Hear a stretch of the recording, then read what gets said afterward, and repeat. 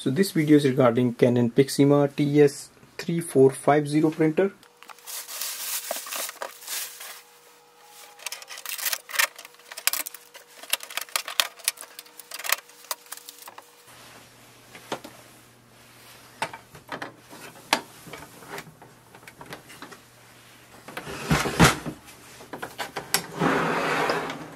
And now the first step is to switch on the printer. So press the power button. Make sure your printer has a zero reading on the screen. So we are going to install the setup ink cartridges which you get with this printer. So take them out of the plastic packaging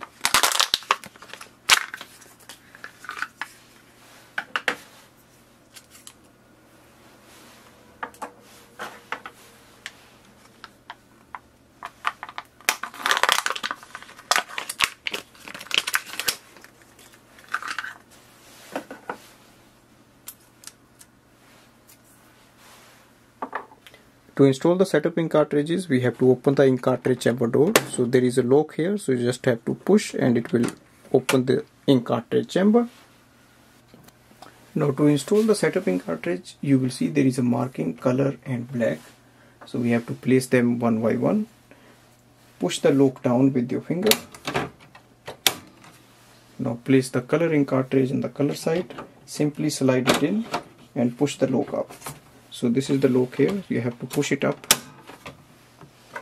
Same way place the black in slide it in and push the lock upside. Now close the ink cartridge chamber door. Now we have to load the paper. So open the tray. Adjust the size. Place the paper here Now press the OK button on the display panel. Next thing is to do the wireless setup of the printer. So we will connect this printer with the Wi-Fi network of our home or office. So go to your device, for example I have iPhone here. Open the Canon print app. It will ask you to search for available printers. Click yes. To message printer cannot be found. Click OK button on the next screen we have to click on the if printer cannot be found. It will give further instructions. Click auto connection. Our printer has a button like this so confirm it. Now press and hold this button for 3 seconds which is here. 1 2 3 release it and confirm on the screen. Also click OK once you see this message. Now open the Wi-Fi setting of your device. In the Wi-Fi setting look for your printer's name. That is TS3400 click. It will connect with the printer. And we have to go back and open the app again. And click OK on the panel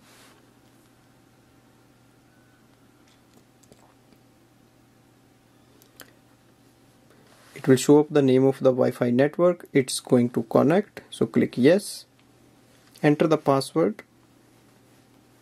So this is the password of your home Wi-Fi network. Click on the OK button. Here we can see it is connected with the Wi-Fi network and it is also added in our phone. Click cancel icon. Click close you will see the name of the printer series here. From here you can start wireless printing and scanning which is very easy. For example if you want to do a scan click on the scan icon. Also place a document here for the scanning like this facing. So it should be facing like this. On this corner. And click on the scan icon. Click ok